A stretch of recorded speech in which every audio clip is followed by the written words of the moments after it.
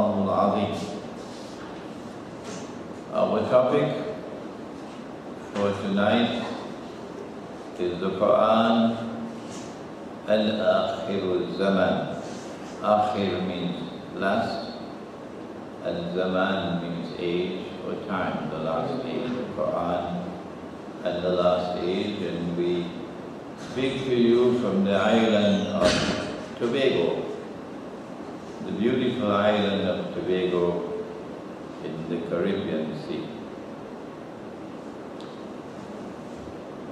The Quran in Surah Al-Zukhruf tells us about Nabi Isa alayhi salam, the Prophet Jesus.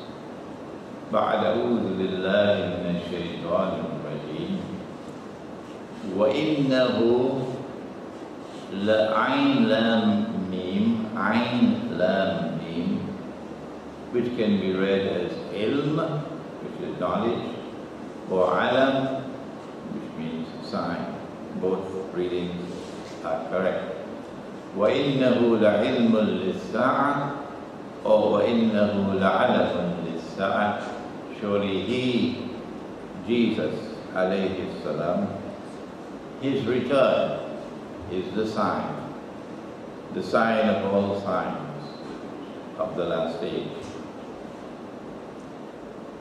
This is the key to the subject of the last age. The Quran tells us five things about that defining moment when they attempted to crucify. Number one, the Quran says they did not kill him. Number two, the Quran says they did not crucify him. What is crucifixion? If you put someone on the cross or you nail him on a date palm, and when he gives up the ghost, you think he is dead, you take him down, his body, and when you take him down, he picks up his briefcase and he walks away. Has he been crucified? Has he been crucified? No, no, no. Come back. Go back up. You're not as yet crucified. You are crucified when you die. When you experience something called maut. So number one, they did not kill him. Number two, they did not crucify him. Number three, Allah took. Took what? Took what? Wafat. When someone dies, we have to perform Salatul Janazah. And in the Salatul Janazah, there is a dua in which this word is located, wafat. اللهم من أحييته منا فأحييه على الإسلام ومن توفيته منا فتوفه على الإيمان It is taking the soul, taking the soul. So Allah took his soul. That's the honest answer. And then number four, Allah made it appear unto them that he was crucified. Hmm? But there's only one way that that could happen. Is it possible for Allah to take the soul and then send it back? Is that possible? Yes.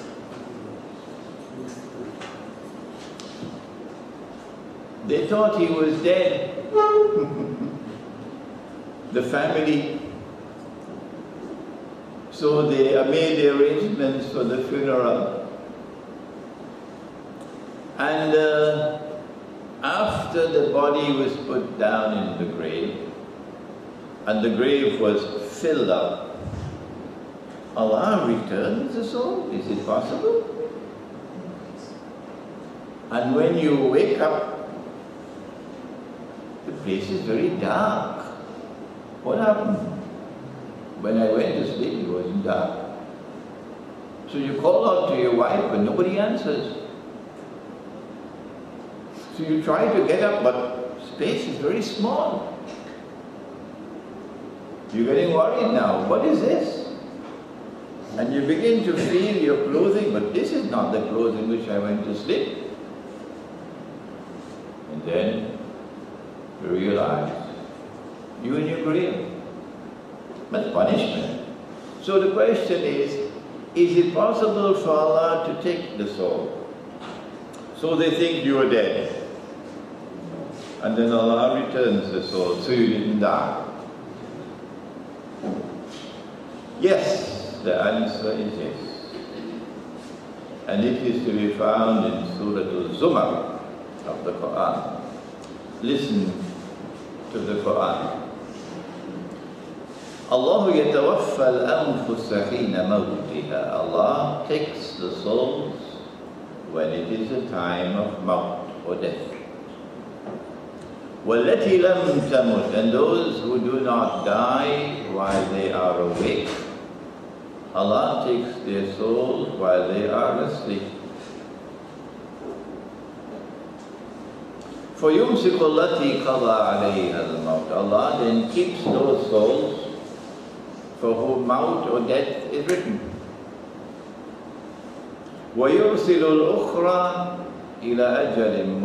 And the rest Allah sent them back for a prescribed period of time. So yes, the answer is yes.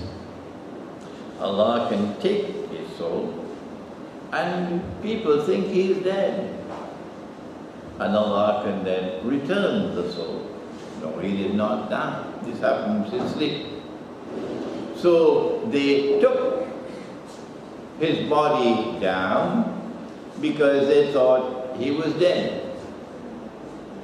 Our sources don't tell us anything more, but the Christian sources say they put the body in a cave and they sealed the cave.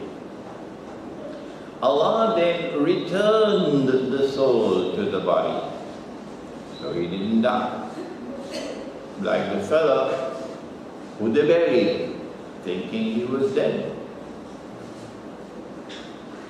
But when Allah returned the soul, no, he didn't die, but he's in his grave. And they forgot to put a cell phone when they buried him.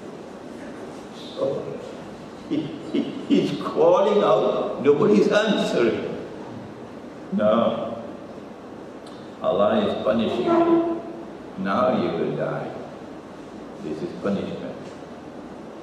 And then the Quran tells us, Allah made it appear unto them that he was crucified. So this is what happened. Allah took the soul, they thought he was crucified. Allah returned the soul, he was not crucified. So he did not experience maut or death. And then the Quran says, number five, Allah raised him. Raised him where? Not to heaven. Allah raised him to the samawat or the parallel universes. This is where Nabi Muhammad والسلام, went in the Mi'raj. So these are the five things that the Quran tells us about that event. Since he did not die, he did not experience maut. And Allah says in the Quran, Kullu nafsin ذَائِكَةُ maut. Every soul must taste maut, except, including Nabi Isa alayhi salam. The implication is that he has to return. This is the Quran, this is the Quran, this is the Quran. He has to return and he has to experience maut or death. The Quran says, Minha khalaqnakum from this earth, the dust, did we create you. وَفِيهَا نُعِيدُكُمْ And when, into it will we return you, even if they cremated you, the dust will still return. وَمِنْهَا نُخْرِجُكُمْ تَارَةً أُخْرَى And from this we will extract you one more time. So this includes Nabi Isa alayhi salam. So one day you will have to return. And the return of Nabi Isa alayhi salam, Jesus, is the crowning event of Akhirul Zaman. It is the most important event in history which still remains to occur. Before he returns, Nabi Muhammad والسلام, informed us that Allah created someone who is called Dajjal, Al-Masih al-Dajjal. Dajjal who will seek to impersonate Nabi Isa Islam, the true Messiah. So he is the great pretender. He is a deceiver, he deceives. PhD in deception. Dajjal has to get the people, the Banu Israel, to accept him as the Messiah.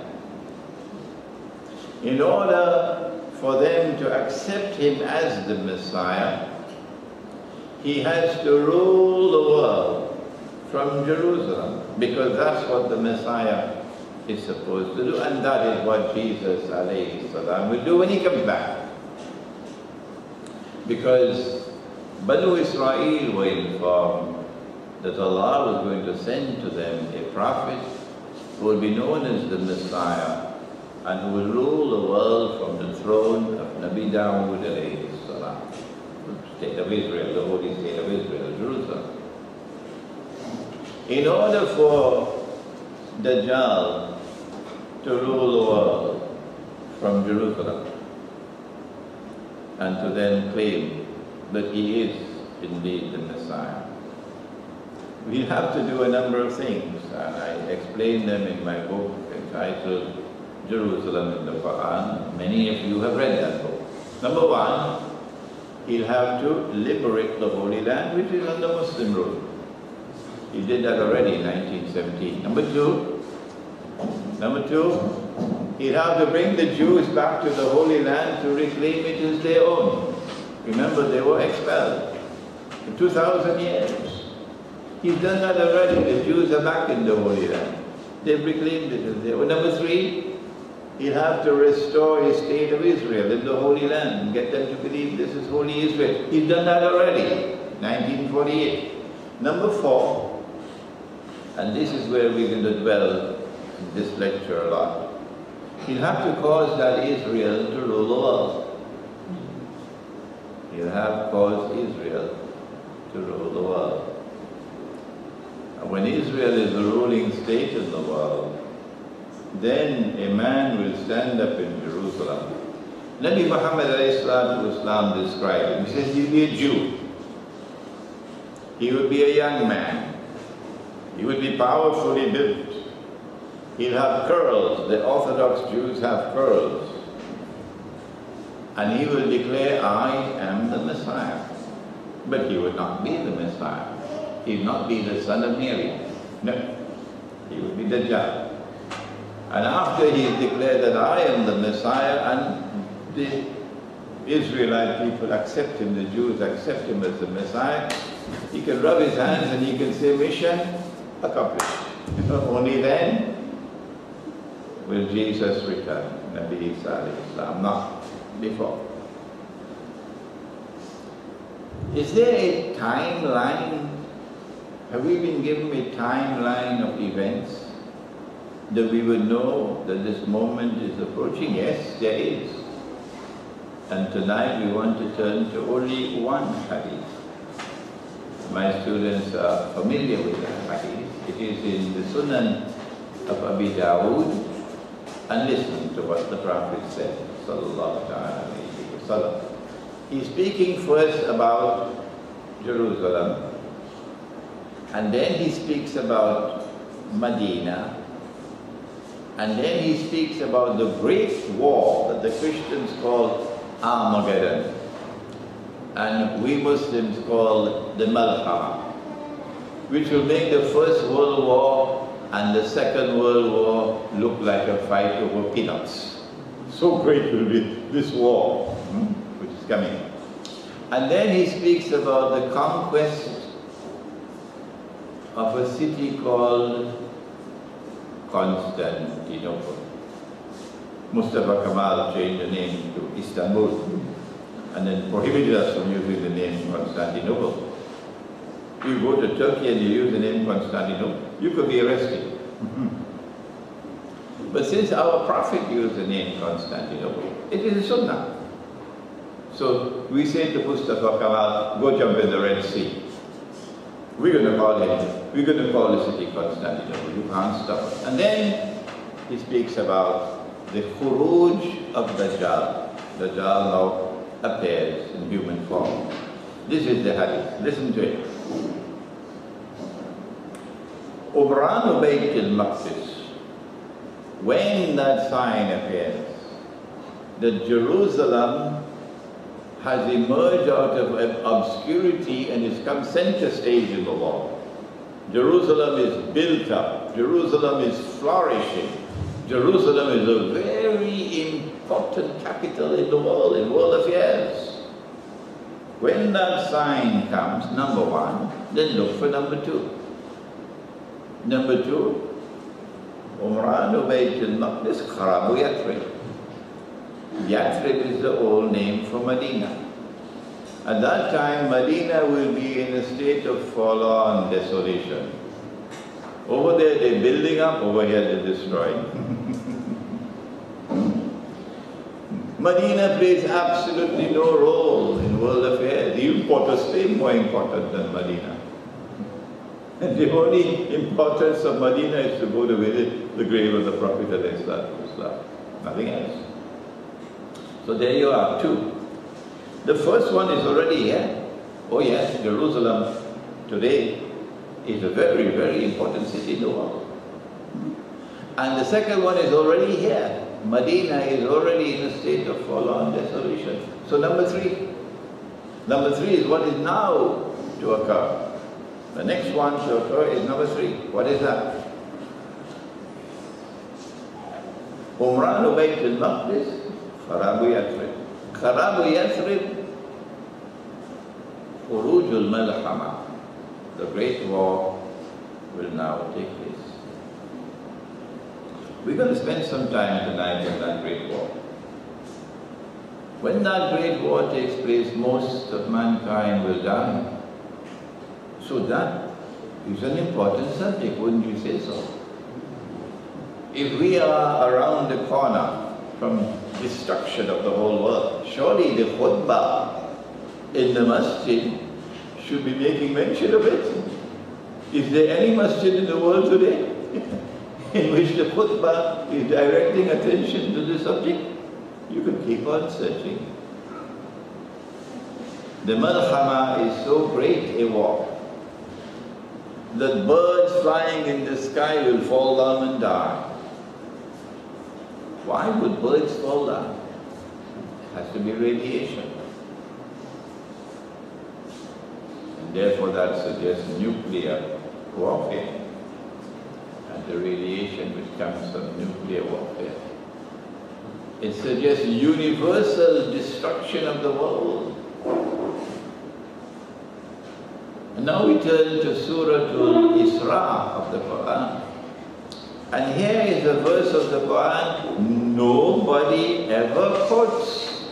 It is as though it is not in the Quran because nobody ever quotes it. وَإِن مِّن قَرْيَةٍ إِلَّا نحن مهلكوها قبل يوم القيامة أو معذبوها عذابا شديدا كان ذلك في الكتاب مستورا Not a single city or town will escape, says Allah. Not a single town or city will escape, says Allah. We are going to destroy them all. This is the Quran. And those which escape destruction will be punished with terrible punishment. And this is a matter inscribed in the book. And so the Malhama will witness universal destruction around the world and most of mankind will perish. How far away are we from the Malhama? Since number one has already come and number two has already come and the next one is number three. How far away are we from the Malhama? After the Malhama, you come to the conquest of Jerusalem, sorry, the Constantinople, and then the Khuruj of Dajjal. Let us go back now to Jerusalem. How did Jerusalem come out of its obscurity and reach center stage in the world today? Who did it? Who is responsible for it? Who is responsible for defeating the Muslims and taking over the city of Jerusalem and the Holy Land and returning it to the Jews. Who is responsible for that? Who are those who control power in the world today? Who are they? Does the Quran tell us? Remember our topic is the Quran and Akhir zaman We go now to Surah Al-Ma'idah. And you know, there is a wrong way to study the Quran and there's a right way. The wrong way is to take a verse by itself in isolation. And if you do that, you can make mistakes. Like for example, Allah ordered the angels to make sajda before Adam salam. And they all made sajda except Iblis. So Iblis has to be an angel. Hmm? He used the wrong methodology. Since the order was given to the angels, so he has to be an angel. Wrong. When you use the right methodology to go to the whole Quran, not take a single verse, then you say, no, no, no, he could not be an angel. Why? Because angels have no choice. Angels cannot disobey. When an angel is given an order, he has to obey. وَيَفْعَلُونَ مَا يُؤْمَرُونَ But he disobeys, so he cannot be an angel. So proper methodology is to go to the whole Quran. Now let us see the verse in Surah Al-Ma'idah. Allah gives a command. يا أيها الذين آمنوا O you who have faith in Allah لا تتخذوا اليهود والنصارى أولياء Do not take the Jews and do not take the Christians as your friends and allies is Allah speaking about all Jews and all Christians? If we use the wrong methodology, yes, He is. But if we use the right methodology, no, he could not be speaking about all Jews and all Christians. Why?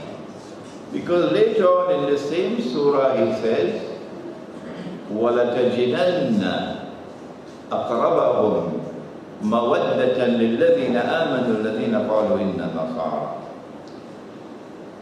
that in time to come you will find, listen carefully, you will find those who have the greatest love and affection for you Muslims will be those who say we are Nasara Christians.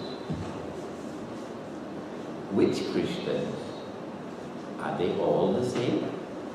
Oh no, they're not. Not. There is that Christianity which is located in the Quran and is called Rum. Rum. There's a whole surah of the Quran named Surah Rum.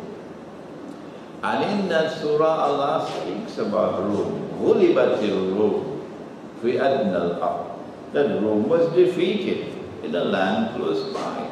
وَهُمْ مِنْ بَعْدِ غَلَبِهِمْ سَيَغْلِبُونَ But afterwards, not long afterwards, Rome is going to be victorious. Who is Rome? Rome is Christianity. But that Christianity, the old one, the one which was in Constantinople, the one which is in Russia today, the one which is in Bulgaria and Greece and Armenia, that Christianity, which is called Orthodox Christianity. This one broke away and went to Italy, and went to Britain, and went to the United States. And this is the Western Christianity. So they're not all the same. Allah is saying, do not take such Jews and such Christians as your friends and allies. Who? Who what? بعضهم أولياء بعض who themselves are friends and allies of each other. Are the Orthodox Christians in Greece and Armenia and Russia, are they friends of the Jews? Have they made an alliance with the Jews? No, they have not. Well then, has this alliance come into being? Yes, it has.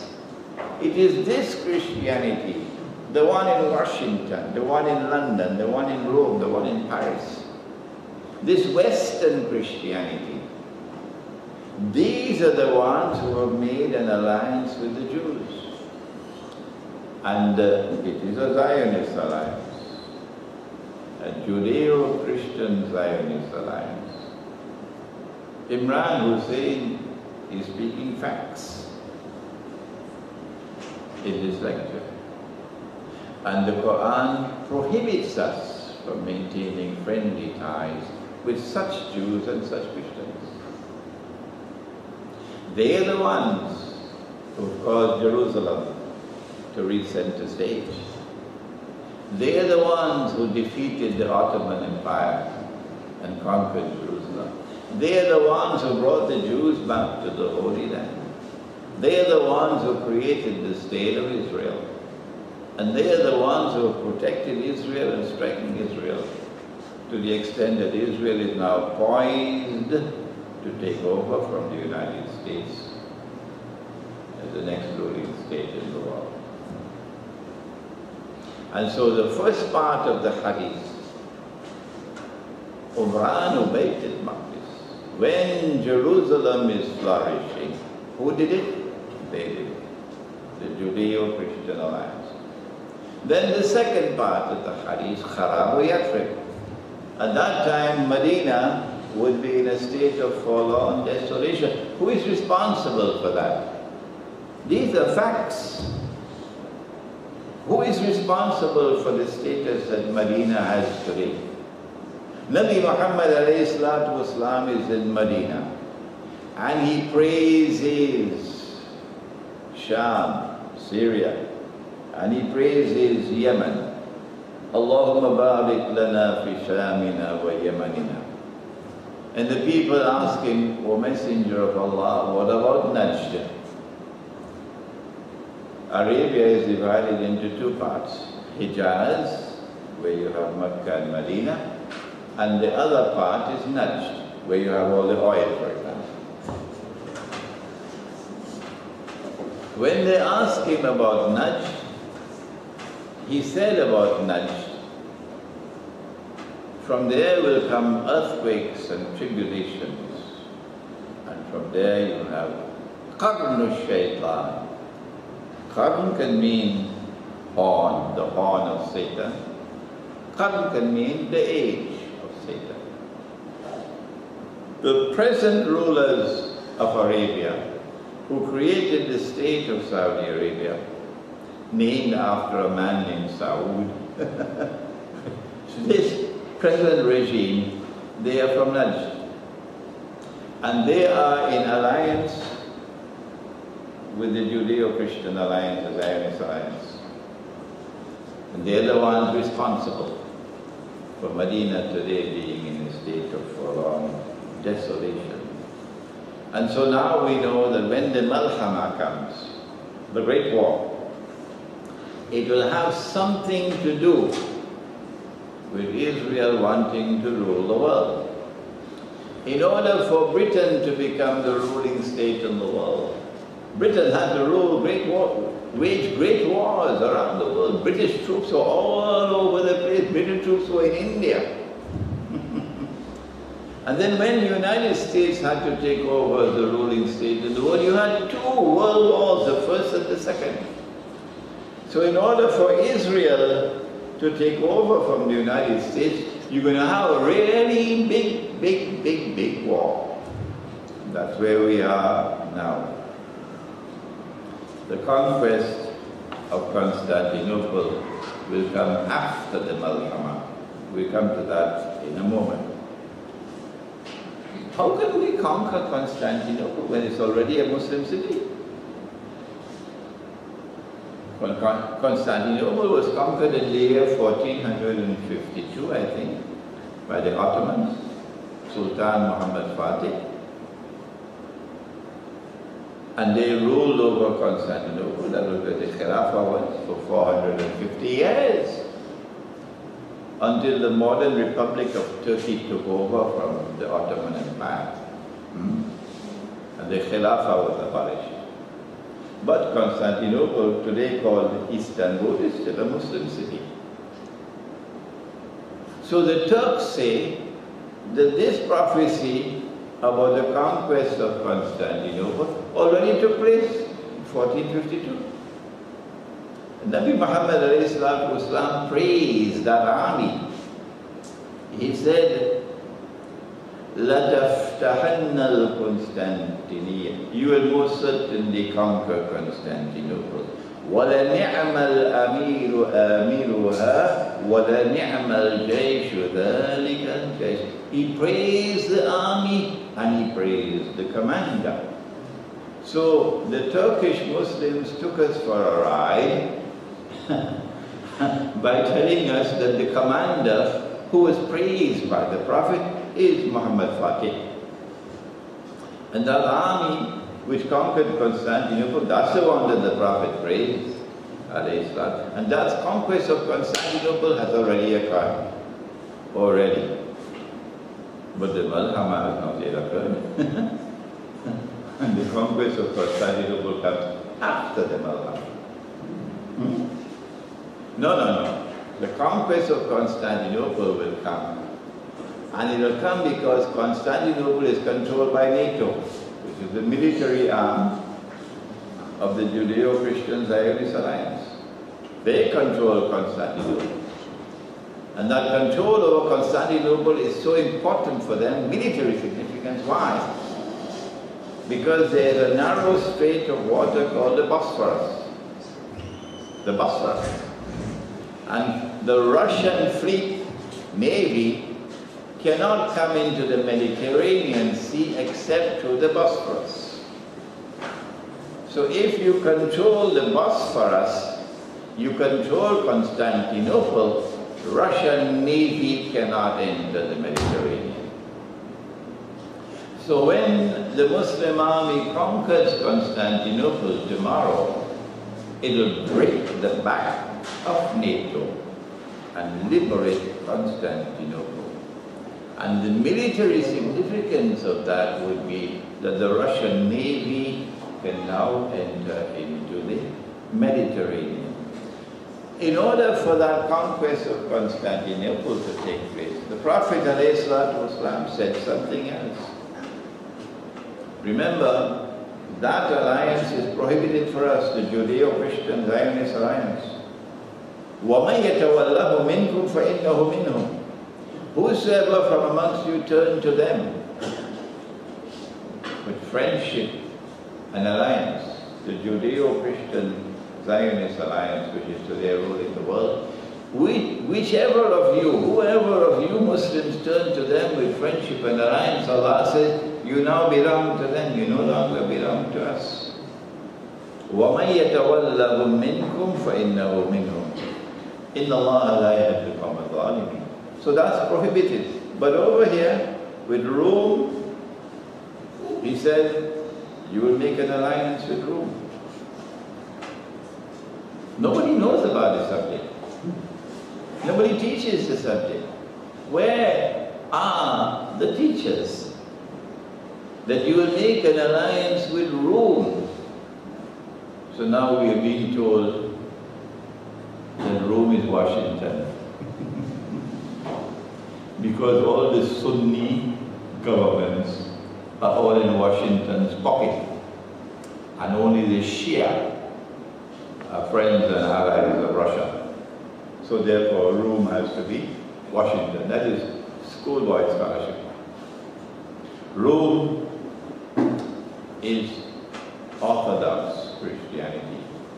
And the leader of the Orthodox Christian world today is Russia.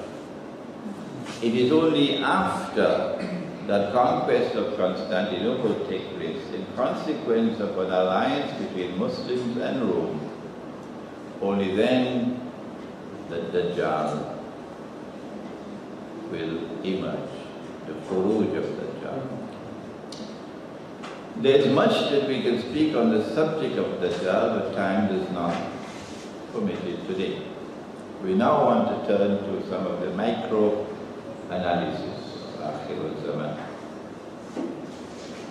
A defining moment in modern history occurred on the 9th, uh, the 11th of September 2001. They call it 9-11. I was in New York that morning. Yeah.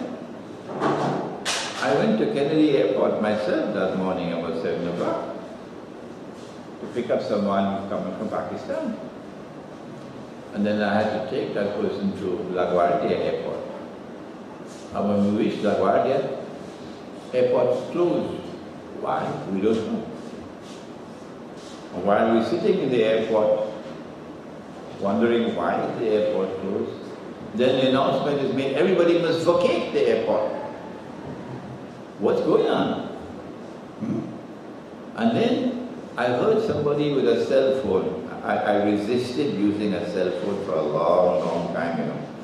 So I heard this fellow saying, one tower is down. One tower is down. So I wonder if this has something to do with World Trade Towers. So we got out of the airport, we drove back home, I was living in Queens, turned on the television, and there it was. The 9-11 attack on the United States of America. As I saw it unveiling itself on the screen, I knew who did it. Mm-hmm. Oh yes. This was the Anglo-American Zionist Alliance, the CIA and the Mossad. They are the ones who did it. In, and then put the blame on us. Most Americans today know that the government is telling a lie. Most Americans know that. And yet, the scholars of Islam will not, will not open their mouths and say that 9-11 was a lie. Not the scholars of Islam. You will hear everything else, but you will not hear this. Prophet Muhammad والسلام, said about Akhir zaman he said there will be great liars. So beware. There will be great liars So beware. Should this not be on the mimbar? Should it not be told in the, in the khutbah? Warning our people about great lies in Akhir Why did they do 9-11? I'll tell you why. Because the Prophet said about Dajjal that when he is released, he'll live on earth for 40 days. Yawmun Kasana, one day which would be like a year, which is a long period of time, one the first stage. One day which would be like a month, which is a shorter period of time, stage two. One day which would be like a week, a short period of time, stage three. وَسَائِرُ أَيَّامِهِ كَأَيَّامِكُمْ And then finally at the end of his life, all his days will be like your days, meaning he'll be in our world of space and time, so you'll see him as a human being. But when he's released, he's going to be on an island. An island. We don't have time today to give all the arguments and evidence how I came to the conclusion. But in my book, Jerusalem in the Quran, I gave it. The island is Britain. And so from Britain he began, he launched his effort to rule the world eventually from Jerusalem. Britain became the ruling state in the world. Now right here in Trinidad, when we were children, we had to learn one pound four eighty, two pound nine sixty, three pound fourteen forty, four pound nineteen twenty. You're too young to know that, eh? yeah? See, you laughing? This is what we learned at school because the British sterling pound was the universal currency. We had to sing God Save the Queen. Oh, no, sorry, God Save the King was George. God Save the King. Long live the King. Huh? That nonsense we had to sing. And if you'll excuse me, today we also have to sing some nonsense. A Muslim only pledges his life to Allah. A Muslim doesn't pledge his life to a mango tree. A Muslim doesn't pledge his life to a piece of earth or two islands in the Caribbean Sea. This is our native land. We pledge our lives to be. Not me. Who wants to do it could do it. Not me. I pledge my life to Allah, not to any island in the Caribbean. So this was the time we had when Britain became the ruling state of the world. And then came a defining moment when Britain had to cede control to the United States. And the British rule over the world had to be demolished. and that came after the First World War and the Second World War. And we know the exact moment in the Bretton Woods Conference when the sterling pound was demolished in the Bretton Woods Conference and the US dollar took over from the sterling pound. Hmm? Britain is no longer the ruling state of the world. The final nail in the coffin is there, 1944. So we came to the conclusion when we wrote Jerusalem in the Quran that we are now located at that moment in time when a day which is like a month, Pax Britannica was for a long time, a day like a year. Pax Americana was for a shorter period of time, the US dollar ruling, day like a month. But we are now located at that moment in time of transition, when a day like a month is to end and a day like a week is to commence. And Israel is to take over from the United States as the ruling state in the world. And so 15 years ago or more, on the basis of our study of the Quran and of the Hadith, we said the US dollar has to collapse, must collapse. We didn't do it on the basis of our study of international monetary economics, because we studied monetary economics. But we did it on the basis of our study of the Quran and the Hadith. Nobody else was saying it. 15 years ago that the US dollar must collapse. And the US economy must collapse. And a new monetary system must come to replace it.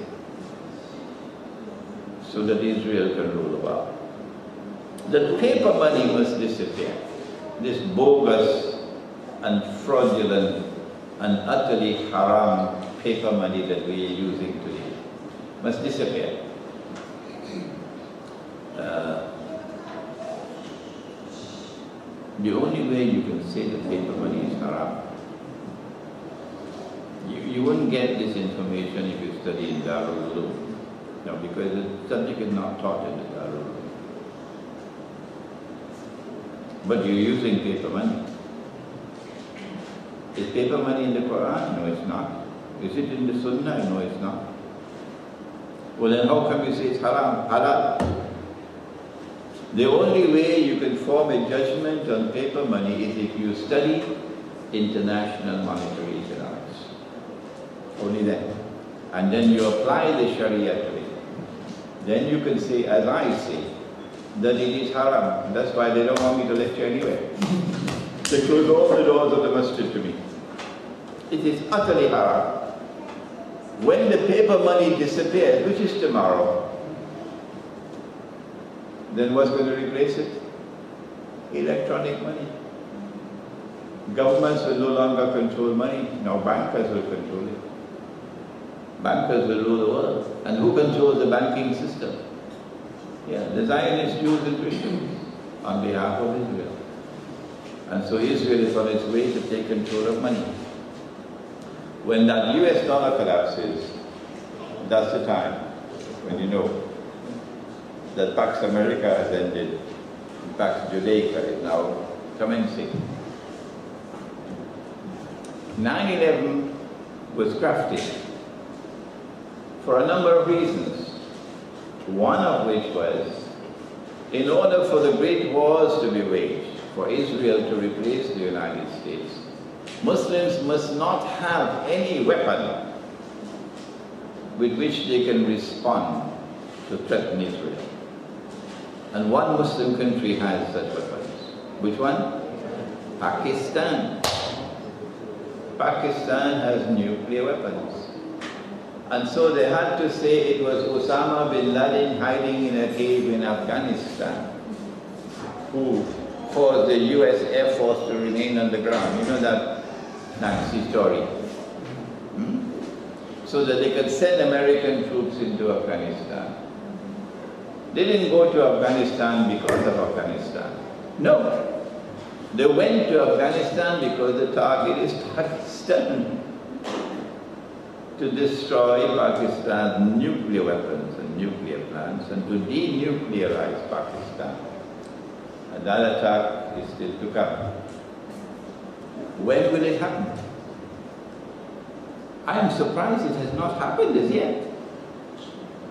The closest they came to it was when they said they attacked some building in Abbottabad and they got Osama bin Laden and they killed him. And then they said they threw his body in the sea.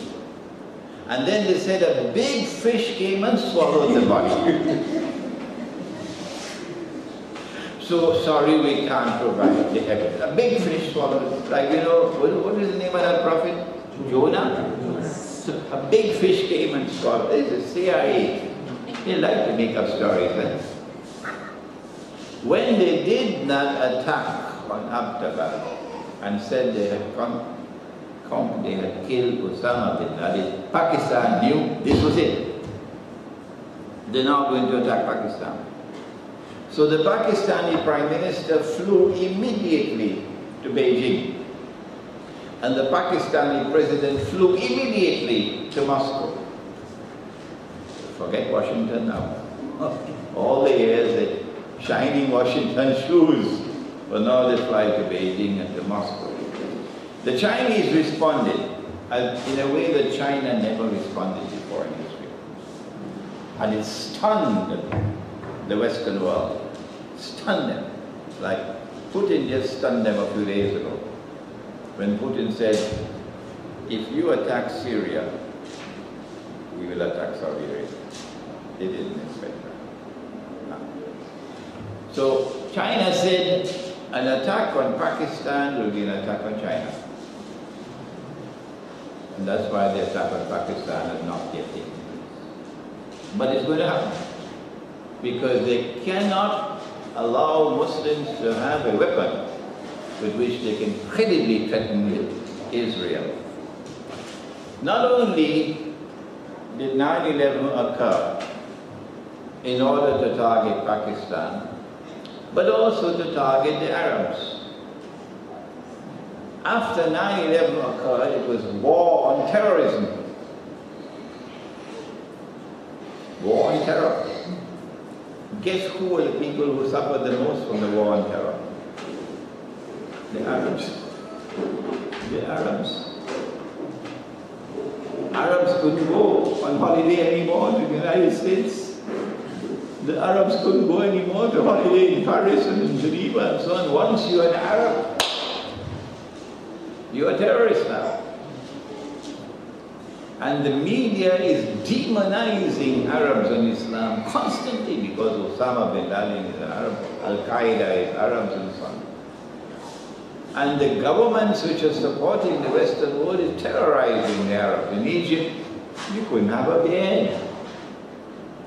And this went on and went on and went on, inflicting, inflicting, inflicting more and more injury on the Arabs, getting them more and more riled up, more and more angry with pent-up rage until they exploded, as it was designed to explode, in what is known as the Arab Spring.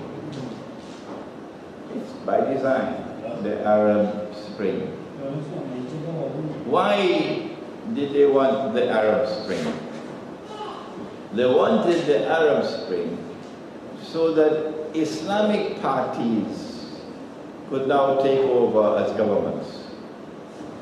And when Islamic parties take over as governments in the Arab world, and these Islamic parties now supporting the Palestinian brothers, particularly in Egypt, Israel can say terrorism. Israel can say that we are now being threatened. Islam is menacing Israel, and Islam is a menace to the world. And so you have what is known as casus bellum. So Israel can wage a big war to save mankind. That was the strategy. So the Arab Spring came, and then the Ikhwan al-Muslimun, the Egyptian Islamic Party, took the Sunnah of Nabi Muhammad والسلام, and put it in a place called cold storage. Yeah? This famous Islamic movement, 60, 70 years old, suffered so much at the hands of Jamal Abdel Nasser and Mubarak for so long. They took the Sunnah and they put it into cold storage. They took the Quran and put it into cold storage. And they took the Islamic movement, registered it as a political party. And fought the elections under a secular constitution. What's a secular constitution? In the Quran, Allah says that He is Al-Malik. He is the sovereign. Sovereignty belongs to Him. The secular constitution says rubbish. That's wrong. You are not sovereign. The state is now sovereign. That's the secular constitution. That is shirk. And when you go and vote in the elections, you now join the shirk. But nobody will tell you that. No Darul will tell you that. That's why the door of the masjid is closed to me. This is not the Sunnah. The Quran and the Sunnah gave us the Khilafah state. The Khilafah state recognized Allah as sovereign. And when you go and accept this constitution and you vote in these elections, you now become a part of that ship and you abandon the Quran and you abandon. So this is what Ikhwan did. And uh, they became president, government. When Ikhwan became the government of Egypt, through this method, which is in violation of the Quran and Sunnah. They then brought a constitution to the country. Nabi Muhammad Islam also gave a constitution to Medina. It's called the Mithaq. But he did it over patient negotiations over a period of seven months. And he used the constitution to unite the people. Jewish tribes which were in conflict with each other. Arab pagan tribes were in conflict with each other. And he united them all. The constitutional, constitutional sunnah is that the constitution is used to unite the people. Ikhwan used the constitution to divide Egypt, but Egypt has never been divided before. Ikhwan is making mistake after mistake. When they did that last December, I made, I gave a lecture in Malaysia and I said, Ikhwan is now taking Egypt to civil war. That was eight months ago I said it. Civil war. And when all of Egypt came out on the streets demonstrating against the Ikhwan, the armed forces got an opportunity for revenge. Yes. And they took it. And they deposed Morsi and they took over the country. Because the Ikhwan had taken the country from them. They had been ruling all the time. But then something strange happened. And this is the new analysis that comes tonight in this lecture that my students around the world will be looking forward to. Something strange happened. When the Egyptian armed forces deposed Morsi, the coup d'etat, and we thought that maybe the Zionists have lost one here because they wanted these Islamic governments.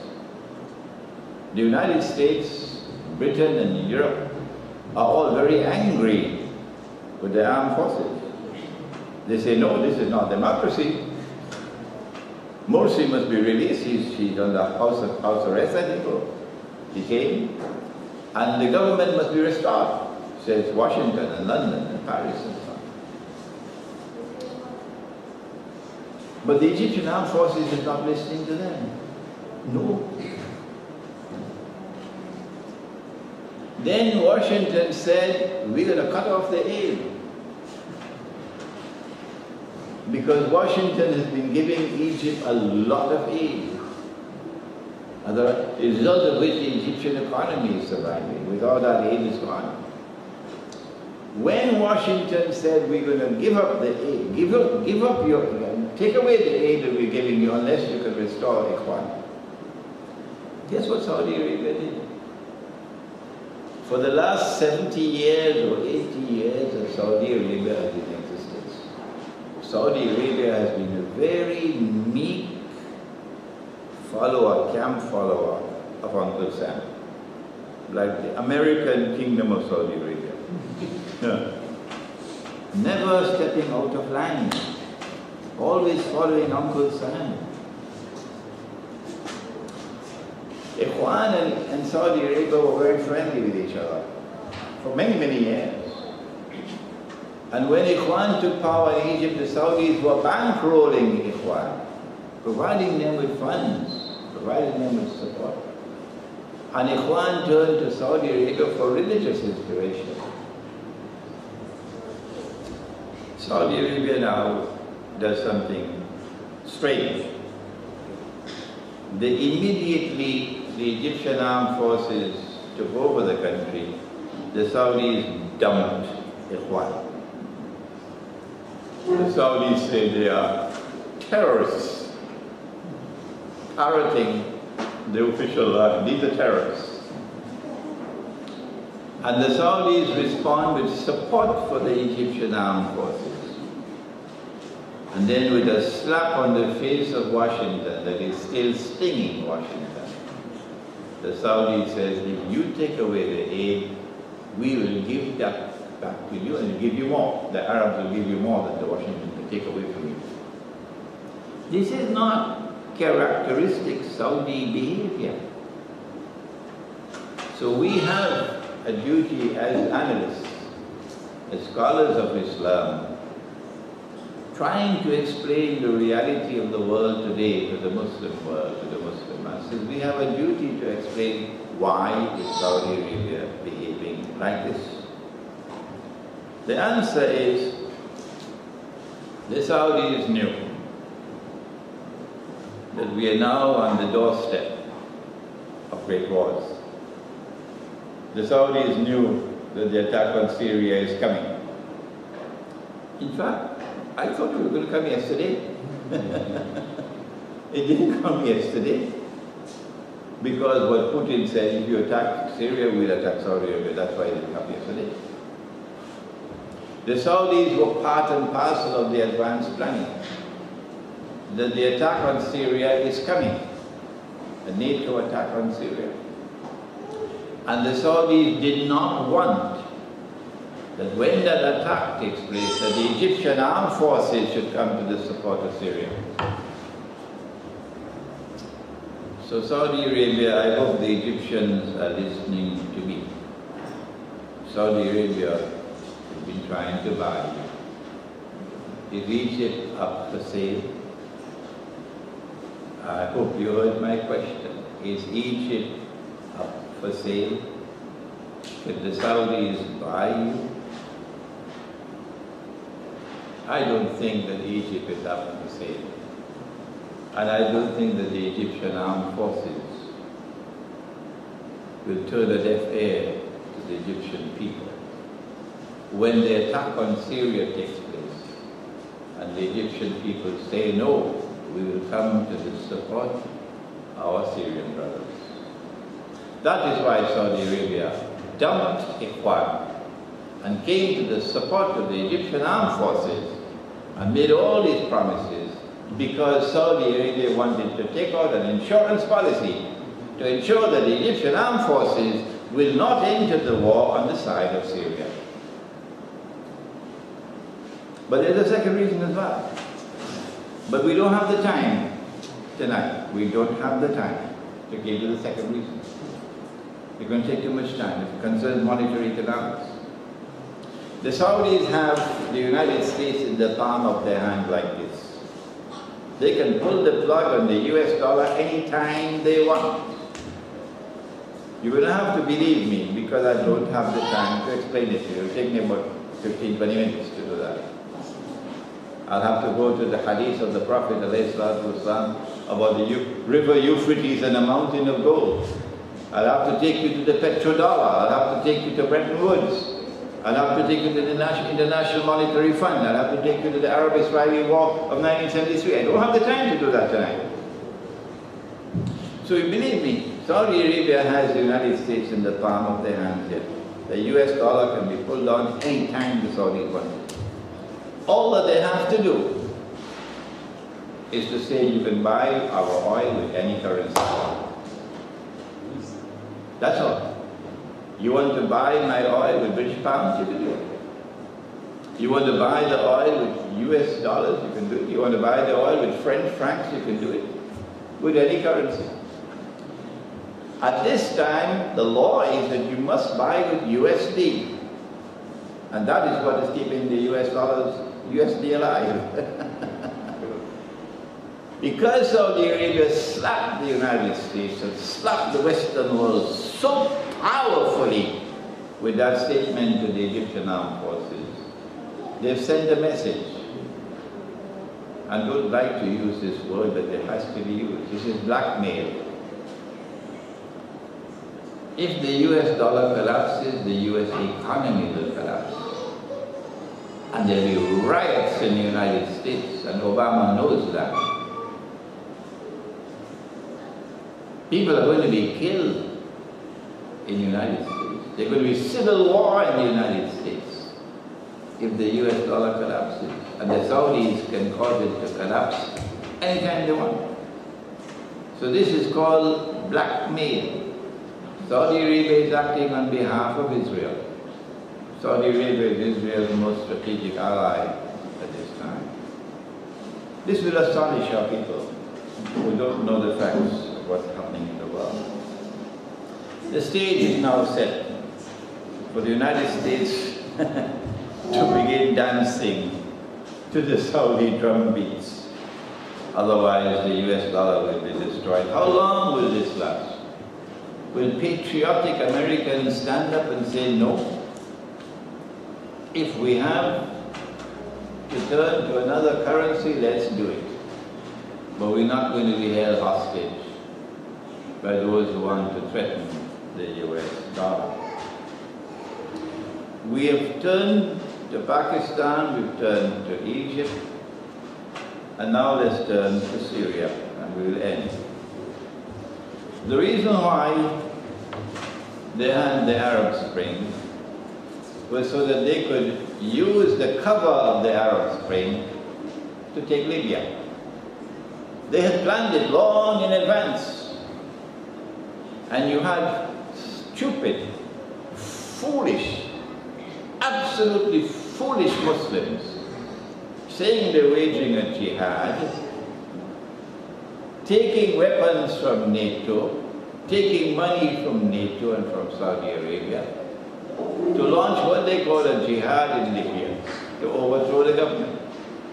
And today these fools have lost their Islam because of the Quran.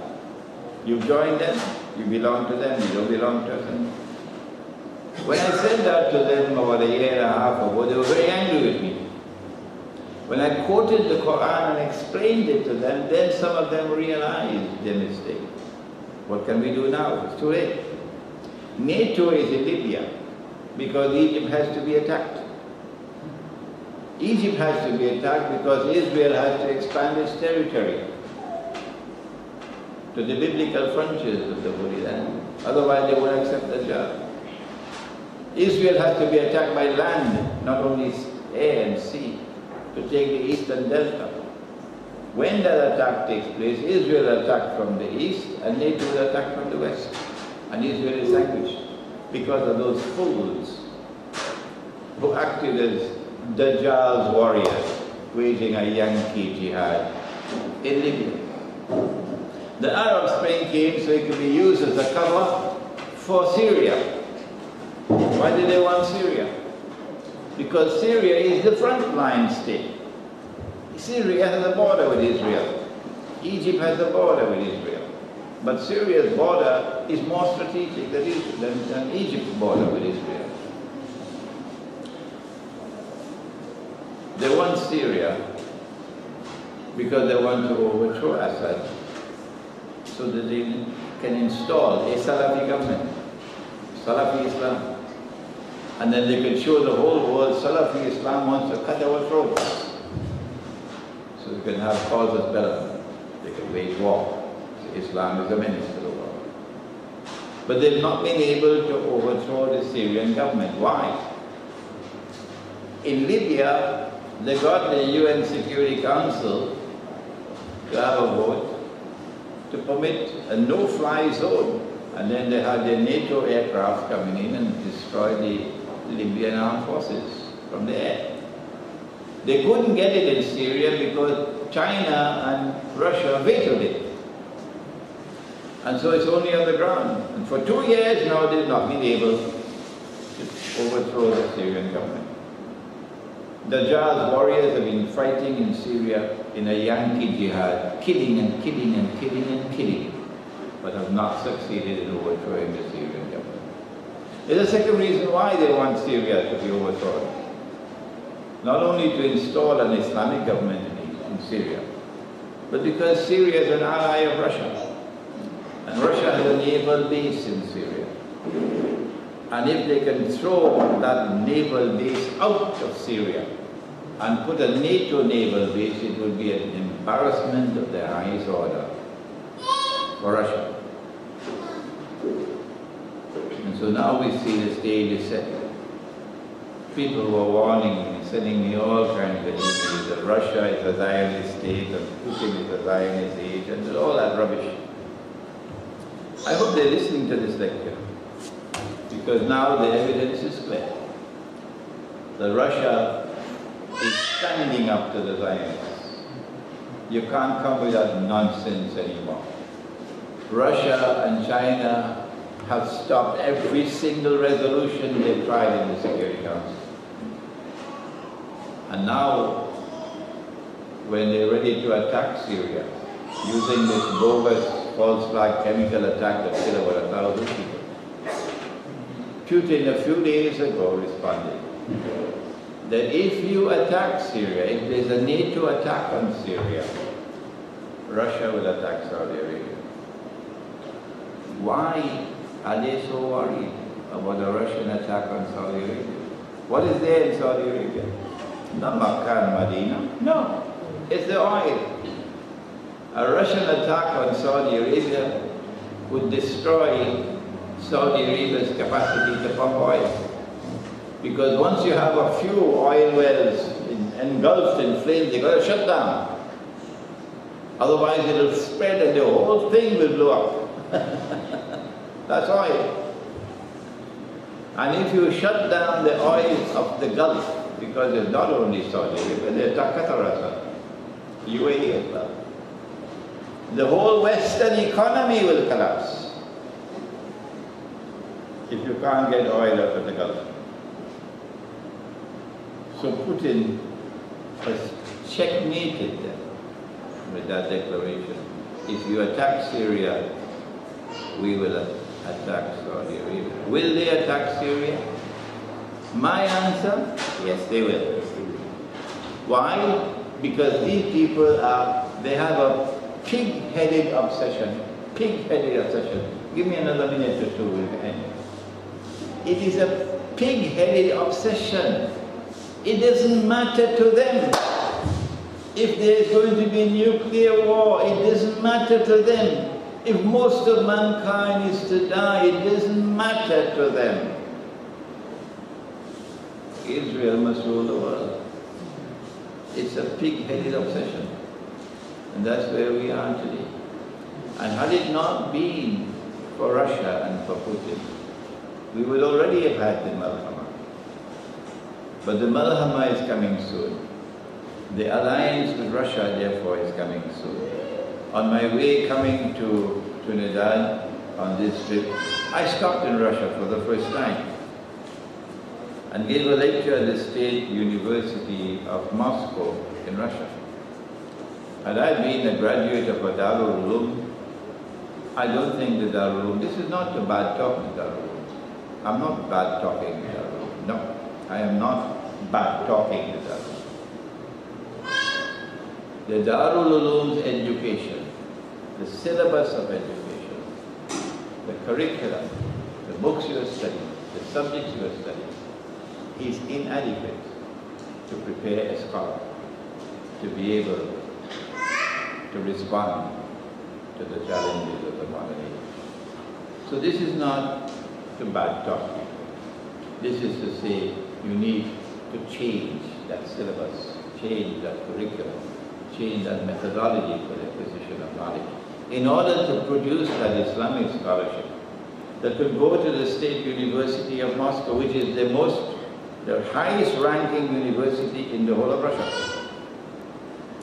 And I got a friendly reception. I got a friendly reception. On my right hand side was Alexander Dugin, who is one of Russia's premier intellectuals, and he was the chairman of the. And on my left hand side was Russia's, one of Russia's most eminent scholars of Christian eschatology. And I got a friendly reception, a respectful reception from Russia. And they were very happy with comments that I made. That when Sultan Muhammad Fatih conquered Constantinople in 1452, he took the greatest cathedral of Rome, Hagia Sophia, which had been functioning as a cathedral for 1,000 years in Constantinople. And shamefully and disgracefully and manifestly sinfully, he transformed it into a masjid, plunging a dagger into the heart of Rome so that the, the alliance between Muslims and Rome should never take place. That's what the Ottomans did. And it remained a masjid for 450 years until Mustafa Kemal took over and then he, he converted it into a museum. So I said to them in Russia, when we conquer Constantinople, inshallah, the first thing that we will do is to return this cathedral to the Christians. This is yours. The second thing we'll do is to apologize to you for what was done. And the third thing that we'll do is to restore the name of the city to Constantinople. Because that's the name our Prophet used. On my way back, inshallah, I will again be passing through Moscow. And this time I hope I can meet with the Russian Orthodox Church to begin discussions with them to try to come closer together so that the alliance with Rome prophesied by Nabi Muhammad والسلام, might come to pass. ربنا تقبل منا انك انت السميع العليم وتب علينا يا مولانا انك انت التواب الرحيم برحمتك يا ارحم الراحمين امين